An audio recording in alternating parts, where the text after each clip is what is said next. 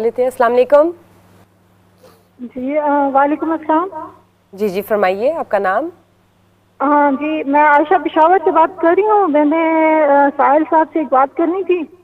कुछ दो वो उन्होंने रेड हाइफर का और ये एक सेशन स्टार्ट किया हुआ है ना? जी जी। तो अ, मैं ये चाह रही थी कि आप हर सेशन में रेफरेंसेस भी बता दें ताकि हम उनको रेगुलरली खुद भी स्टडी कर लें। ठीक है आयशा साहब पिशावर से आपने फ़ोन किया आपका बहुत शुक्रिया। वो दरअसल खुद भी पढ़ना चाहती है खुद कोई भी इंफॉर्मेशन रेफरेंस अगर मिल जाए आपने रेफरेंस के साथ किया अगर हुआ बता दें आप। तो रायत की बुक ऑफ़ नंबर्स पढ़ें इंजील की बुक ऑफ़ रेवलेशन और कुरान की सूरह बकरा। रेफरेंस ये है। रेफरेंस ये है। ठीक हो गया। उसके बाद आगे चलेंगे। उसके बाद आगे चलेंगे। हम्म। ये मुसलमानों में क्यों दिलचस्पी पैदा हुई है? ये सिर्फ़ गुज्तर जैसे चंद चंद दिनों से बात कर रहे हैं। क्यों लोग इसके ऊपर इतनी ज़्यादा बहस मुबासा कर रहे हैं? जैसे अभी आयशा ने अभी औरों की जो दिलचस्पियाँ हैं हमारी भी वो दिलचस्पियाँ हैं।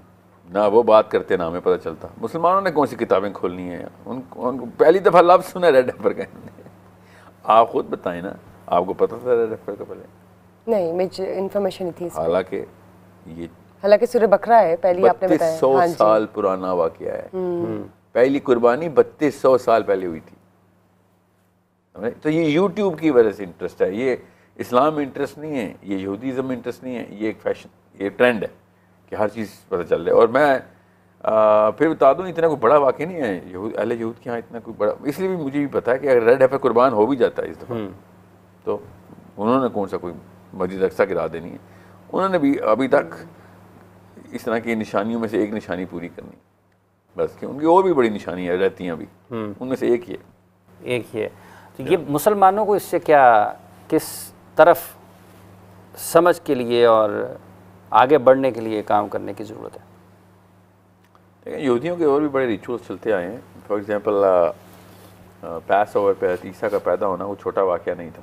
और पैस ओवर पर अतीसा को स्लीप पे चढ़ाना ये भी छोटा वाक़ नहीं था। ठीक है? क्रिश्चियंस तो बेस ही बेस उस पे कर रहे हैं। मुसलमानों को जो एंगल देखना है ना कि इनकी नफ्सियात कैसे बनती हैं? अगर किसी एक गैर मुस्लिम ने हम लोगों को जानना हो तो कुरान से बेहतर तो कोई तरीका नहीं है ना हमें जानने का। वो एक अलग बात है हम तो फॉलो ही नहीं करते। मगर हम कुरान पाक को फॉलो करने पे पे पे पूरी तरीके से मुतमईन हैं। हमें कोई दिक्कत नहीं है कि हम कुरान पाक पे हमें कोई कहे कि कुरान की आयत करो तो कर देंगे। सो टेक्निकली स्पीकिंग कुरान पाक हमारी नफ्सियात बनाता है। वो हमें हराम, हलाल, सही, गलत की तमीज़ कुरान पाक सिखाता है। और कोई भी चीज़ जो कुरान में वाकई में है, वो मैं और आप कभी लाइफ में रिफ्यूट नहीं करेंगे। ठीक है? अब एक गैर मुस्लिम आएगा और उसने हमारी बाउंड्रीज भी देखनी होंगी ना, सबसे पहले आउटर बाउंड्री तो कुरान देखेगा कि यार इससे बाहर नहीं जाएँगे लोग। अगर जाएँगे भी तो जान के जानते पूछते नहीं जाया करेंगे। बिल्कुल इस तरीके से इनके कुछ खास रिचुअल इन्होंने करने करने वो भी कुरान में लिखे हुए हैं कि ईद मनानी है नमाजें पढ़नी है इन्होंने रोज़े रखने हैं ठीक है? सो उसको कुरान पाक से कैसे कुछ सारा कुछ हमारे बारे में पता चल रहा है। फिर कुछ ऐसी चीज़ें जिसके बारे में सख्त पसंदीदा और सख्त नापसंदीदा चीज़ें जो कुरान पाक ने हमें हमें दी हुई हम सूअर नहीं खा सकते जो मर्ज़ी कर लें। और ना सिर्फ़ कि खा नहीं सकते हमें उससे अचानक एक रिपल्शन होती जब एक लफ्ज़ भी बोला जाता था ठीक है? वरना क्रिश्चियन को तो नहीं होती। नहीं होती। क्या इसका मतलब है कि फितरत में नहीं है ये हमारे मुस्लिम साइकोलॉजी है। समझ रहे सो कुरान पाक से या हदीस से ये पता चल जाता है कि मुसलमान कैसे सोचते हैं। मुसलमानों का इंटरनल कल्चर क्या है? बिल्कुल इस एंगल से आपने देखना है कि यहूदी कैसे सोचते हैं। यहूदियों का इंटरनल कल्चर क्या है? तब आपको पता चलेगा मैं तुरैत की तरफ़ क्यों कहता हूँ और मुसलमानों को कुरान पाक एक दफ़ा समझ आ जाए तो फिर तुरैत ज़रूर समझें। ये ये हुक्म है मेरे नबी का कि आप पढ़ो इनको समझो इनको। और हमें वो हदीस तो उल्टी सिखाई जाती है। आमन तो बिल्लाहि व मलाइकती व कुतुबी व रसूली। तो ये हाँ, ये उसी तरफ़ जी जी वरना किस बात में ईमान रखना मैंने? कि कोई ऐसा वाक्य अल्लाह ताला ने किया था जिन्हें वो वाक्य वो मानते हैं वो हमें कत्ल कर रहे हैं उस वाक्य के पीछे? अच्छा मुझे बताएँ वैसे तो जितनी भी बुक्स नाजिल हुई उनमें से कुरान पाक जो है वो आखिरी किताब है जो विदाउट एनी एडिट्स सेव है। Until to date until doomsday बाकी किताबें जो है वो पढ़नी चाहिए उनमें से इन्फॉर्मेशन भी हासिल करनी चाहिए लेकिन वो एडिट्स नहीं उनमें एडिट्स और चेंजेस नहीं आई होंगी। वो मेरे और आपके लिए एडिट है ना। मैं मैं आपको मकसद बता रहा हूँ एक बंदा मानता ही नहीं वो एडिट है और वो पढ़ रहा है, तो है। आपने उसकी साइकोलॉजी समझने के लिए वो किताब पकड़नी है ना। ठीक है। हम अब अगर वो भी मानते ना कि एडिटेड है तो फिर यूजलेस हो जाती किताब। कुरान तो है बल व कुरान मजीद फिल- महफूज। जी नहीं नहीं अगर अगर यहूदी मानता कि तुरैत एडिटेड है तो वो उसको पूरी तरह फॉलो ना करता। और फिर साइकोलॉजी कहीं और से ले रहा होता। तो फिर मैं आपसे कहता नहीं तुरैत में नहीं ये किसी और किताब की तरफ़ ज़्यादा टिल्टेड है। अगर एक कौम को समझने के लिए एक किताब ही है बस। तो इससे बड़ा वाक्य क्या था? हर मुसलमान को ट्रेनिंग में डालना चाहिए था कि भाई इस वक्त फ़लस्तीन में इन लोगों ने किसी अब देखें तुरैत की तीन आयतें जिनकी बेस के ऊपर फ़लस्तीनी रोज़ शहीद हो रहे हैं। अच्छा एक यहीं से मेरे जहन में याद आता है जो आपने फ़लस्तीन की बात शुरू कर दी है। सूरह अनफाल में अल्लाह ताला ने जो फरमाया है कि या युल्लज़ीन आमनु ज़ा लक़ीतुमुल्लज़ीन कफ़रू ज़हफ़न फ़ला तुवल्लुहुमुल अदबार व मैं युवल्लिम यौम इज़िन दुबुरहु ये जो दो आयात हैं एक ऊपर तले। तो फिर जगह अगर हम इन आयात को पढ़ते हैं और इसको समझने की कोशिश करते हैं तो फिर तो मामला किसी और तरफ़ हमारा चला जाता है। जी ना सिर्फ़ किसी और तरफ़ बल्कि अभी अभी शुरू हो जाएगा वो मामला जो जिस तरफ़ आप कह रहे हैं ना। स्टूडियो के अंदर प्रोग्राम के ख़त्म होते ही वो मामला शुरू हो जाएगा। ठीक है ना मैं सही तरीके से घर पहुंचूँगा ना आप। सो ये सिर्फ़ दो नहीं पूरी सूर्य अनफाल आपको पता है ना सूर्य अनफाल मस्जिद के जुम्मे के खुतबे में भी नहीं सुना सकते अब तो हम। आप समझे हमारी नफ्सियात किस किताब से आ रही हो? कुरान से नहीं आ रही। क्या खूबसूरत वैसे यहाँ पे नुकते पे आप आ गए। मुसलमानों प्लीज़ गौर समझें। यहूदियों को समझना हो तो तो रायत पढ़ेंगे यहूदी समझ आ जाएँगे। आपको इसका मतलब है अपनी किताब पे पूरे हैं। मुसलमानों को समझना तो कुरान पढ़ के कुरान पढ़ेंगे तो नहीं समझ आएँगे क्योंकि कुरान पाक ने जो जो ऑर्डर दिए हमने कोई भी ऑर्डर पूरा नहीं किया। और तोरायत में अल्लाह ताला ने कहा था कि ये ऑर्डर है पूरे करो नहीं तो मैं तुम्हें पटक के रख दूँगा। लिटरल ये जुमला तुम्हें पटक के रख दूँगा। ज़मीन खुलेगी तुम्हें खा जाया करेगी। कुरान पाक में इनको क्या कहा है? मखदूब अलैहिम। मखजूब है। ठीक है इनको कहा है मफौलत दाल इन क्रिश्चियन ने और मखदूब अलैहिम ये है कि इनको बार बार जलील होना है इन्होंने। क्यों इन्होंने वो अपनी किताब पूरी नहीं की? किताब पे अमल नहीं किया। सो so, आपको पता होना चाहिए कि कुरान पाक के ऊपर भी हमने अमल ना किया सुरन फाल जैसे मैं मिसाल दे रहा हूँ। तो हमारे साथ वही होगा जो जो इनके साथ अल्लाह ताला ने हम भी मखदूबी अलैहिम हैं फिर। अल्लाह ताला अपने वादे नहीं बदलता ना अल्लाह अपनी सुनत बदलता है। अगर यहूदियों के साथ किया है अल्लाह ताला ने मखदूबी अलैहिम और हमने भी वो वाला वादा ना पूरा किया जो अल्लाह ने हमसे कहा था। इसमें भी वही है कि आप वहीं रहेंगे फिर। जी जी बल्कि अल्लाह ताला ने कहा है कि मैं तो तुम्हें उस कौम से रिप्लेस करूँगा सूर्य मोहम्मद की आखिरी आयत क्या है? मैं तुम्हें तुमसे बेहतर कौम से रिप्लेस कर दूँगा। ठीक है मिसलुकुम होगी तुमसे मतलब इंसानों में से पकड़ी जाएगी वो कौम मगर तुमसे बेहतर होगी और you will be out Allah के यहाँ कोई रिश्तेदारी थोड़ी है। कि जी जी ये तो हमने क्लेम कर दिया हम अल्लाह के मानने वाले हैं तो हम जो मर्ज़ी करते फिरें। यही तो यहूदियों के बारे में अल्लाह ने कहा है कि इनसे पूछो कौन सा ऐसा वादा किया अल्लाह ने? हमें तो पता चले कि अल्लाह ताला ने नौज बिल्ला कोई ऐसा पैक्ट कर लिया कि तुम जो मर्ज़ी कर लो और फ्री कुरान पाक में अल्लाह ताला ने फिर बताया कि भाई मैं उस कौम की हालत नहीं बदलता जो खुद अपनी अपनी हालत ना बदले। मा इंशाल्लाह तो हमें स्टार्ट करना है अपने आप को बदलना। हमने उस वादे पे वापस आना है। सूर्य अनफाल जो आपने सुना दी है मैं आपको फिर बता दूँ डेड लॉक लगा हुआ इस वक्त। लिटरली मुसलमानों के बीच में डेड लॉक लगा हुआ है कि कौन कौन सी लाइन हैं जो हम अंडर दीज कंडीशन फॉलो करें या ना करें तब भी हम ईमान के उसी दर्जे में। ये सब डेड लॉक लगे हुए फिलोसॉफिकल इसलिए मैं आपको बता रहा हूँ बहुत ज़रूरी है मुसलमानों को स्पेशली माओ और बाप और वालदेन को बताऊँ। नहीं एक और कथा कलामी की माजर चाहता हूँ। अगर हम मसलहतन ही कुरान की किसी आयत को वक्त के लिए अपनी अपनी समझ लें कि किसी का भी खौफ है या किसी भी और वजह से अगर हम ये समझते हैं कि हम इसको सरफ नज़र कर दें या आँखें बंद कर लें तो अल्लाह के हुक्म की तो रूह गर्दानी होगी वहाँ पे। और अगर आपके दिल में ख्याल आ गया कि मैं किसी की वजह से ये तो हो गया वो तो वो तो ताबूत हो गया। मगर अपनी मसलियत खुद निकाल तो खुद खुद ताबूत हो गए। हाँ तो ठीक है अब ये नहीं हो सकता कि कुरान पाक के अहकाम दुनिया में ऐसी कोई मसले हो कि कुरान पाक के अहकाम के अराउंड आपने एक नया सिस्टम बना लिया हो। वो मसले थोड़ी है। वो तो बुजदली है।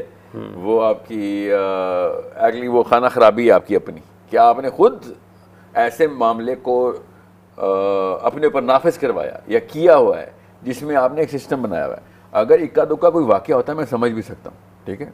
वो मतलब किसी की जान पे बाँध आई है तो उसने कोई हराम चीज़ खा ली।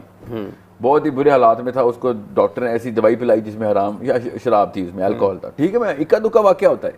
मगर अगर आप लाइफ में ऐसे रह रहे हो कि जिसमें आप कहीं जी ये वाला मामला तो हमने मसलियत रखा उसमें आठ नस्लें पैदा की हुई हमने।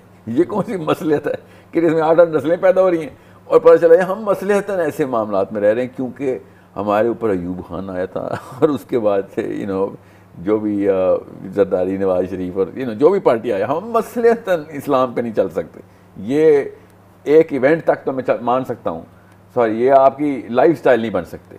जैसे ही आपने इसको लाइफ स्टाइल में मसलत कहा तो फिर आपके अंदर एक ख़ास बीमारी है सूर्य बकरा। स्टार्ट ही उस बीमारी से होती है कि इनके दिलों में बीमारी है और अल्लाह ताला क्या कर रहा है इस बीमारी को? अल्लाह उसको बढ़ा रहा है। कि तुम तुम समझते हो मसलियत तो ये तुम्हारे अंदर की बीमारी थी और अल्लाह ताला ने खुद अल्लाह ने उस बीमारी को बढ़ाया तुम्हारी। ये छोटा वाक्य है सोचें ज़रा कुरान स्टार्ट हो रहा है क्या कहा अल्लाह ताला ने? इस बीमारी का बकरा का जो पहला रुकू है ना अलिफ्लामीम किताब उसके बाद अल्लाह ताला ने निशानियाँ बताई एक तो ये कि समझ नहीं आनी तुम्हें जब तक कि खुद अल्लाह से तकवा वाले बंदे होंगे वरना शक की शक आएँगे। लाराई बफी मुद्दीन शक नहीं है सिवाय किसको जिसको जिसके अंदर तकवा नहीं है। वरना तो ऐसे शकूक डालते हैं लोग कुरान पाक में। उसके बाद अल्लाह ताला आ जाते हैं इस बीमारी पे मुनाफिकून की कि ये वो लोग हैं जिनको जो अपने तौर पे मज़ाक बनाते हैं तमस्कर करते हैं मुसलमानों का। और मोमिन के सामने कहते हैं मोमिन हैं। मौलवियों के साथ मौलवी हो जाते हैं तो लिबरल के साथ लिबरल होते हैं और नवाज़ शरीफ के सामने बैठे कहते हैं सर बेफिक्र है मैं संभाल लूँगा इनको। हम्म। ठीक है। अल्लाह ठीक है। इस, इसके आगे ना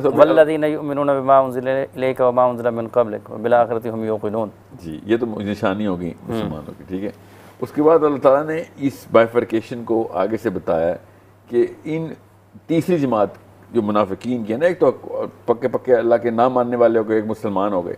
अब तीसरी जमात हुआ है कि जो समझ नहीं आने देती कि ये कौन है? ये मुसलमान है ये काफिर है। क्योंकि वो अल्लाह ताला ये उधर जाते हैं तो बिल्कुल वैसी शक्ल बनाते हैं कहते हैं हम तो तुम्हारे साथ ही मान लाए।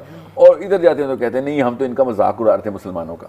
हम असल में तुम्हारे साथ हैं इनके साथ मज़ाक उड़ा रहे थे अल्लाह ताला ने क्या कहा? ये क्या मज़ाक उड़ाएँगे? अल्लाह इनके साथ मज़ाक बनाएगा।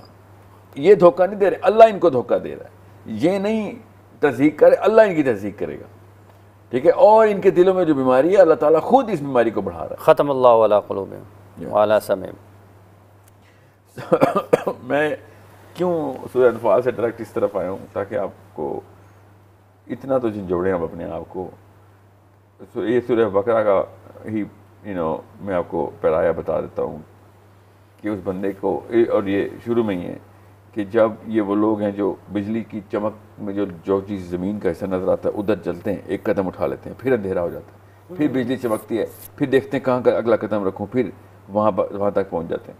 और अल्लाह ताला के ऊपर इन लोगों को यू नो ईमान नहीं है, ये अपने अंदर से बीमार हैं और जान के अपने साथ ये वाली, इनके ऊपर ये कैफियत तारी है, ये अंधेरों में अल्लाह ताला के बग़ैर घूम रहे हैं और इतने बेबस हैं कि बस वेट करेंगे कि बिजली चमकेगी तो अगला कदम हम उठाएँगे। मुझे जब भी ये वाले निशानियाँ इन हालात की देखता हूँ तो मुझे तो लगता है ये तो हमसे ही बेहतर लोग इनको तो फिर बिजली चमकती थी तो अल्लाह ताला इनको दिखा रहा था कि चल एक कदम तो उठा। हमें तो वो भी नहीं नज़र आ रहा। हमारा कदम भी जमा हुआ है। जी जी मैं अभी ना इस्लामाबाद में जो सेफ़ गज़ा वाले लगे हुए ना और वो ये फैसला कर रहे थे कि किस कितना आगे जाएँगे।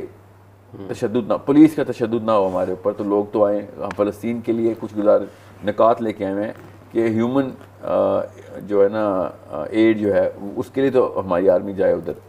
और पता नहीं आठ नौ उनकी और नुकात मैं भी मीटिंग में जाऊँगा तो उनके साथ पता चलेगा। आ, मतलब एक भी पाकिस्तानी ऐसे नहीं इसके पास कोई ऐसा सोलूशन जिसमें पता चले हम फ़लस्तीन के लिए कुछ कर सकते हैं। एवरी वन थिंकिंग कोई आइडिया निकाला जाए कि इन यू नो पत्थर दिलों के अंदर कोई कोई हल्की सी रमक आए कि इनको कि कोई यू नो हुकूमत फ़लस्तीन के लिए कुछ कर सके और आर्मी को कुछ भेजे कुछ करे। सो so, आप फिर कुरान पाक खोलते हैं तो आप कहते हैं कि ये तो यू नो कुरान पाक में जिन बदबख्तों की निशानी है वो तो बेहतर हैं। हम्म। उनको तो फिर कुछ नमक आती है। हम तो बिल्कुल भी ख़त्म हो गए हमें तो यही नहीं पता हम क्या करें। इन अंधेरा जुल्मत पूरी तरीके से आ चुकी है हमारे ऊपर। We do not I I do not know कि मैं क्या कहूँ। किसको कहूँ जाके? कितने लाख लोग इकट्ठे हों और हमारे मुसलमान उलमा कराम बिल पास करवा दें। या हमारा लिबरल कम्युनिटी ह्यूमैनिटेरियन बेस के ऊपर जाए। ठीक है? हम्म। उन्होंने क्या करना है? खैर वो तो। नहीं लेकिन कोई लोग इसलिए तो नहीं है कि चूँकि हमारे यहाँ एक इसी की बात करते हैं कॉलर ले लेते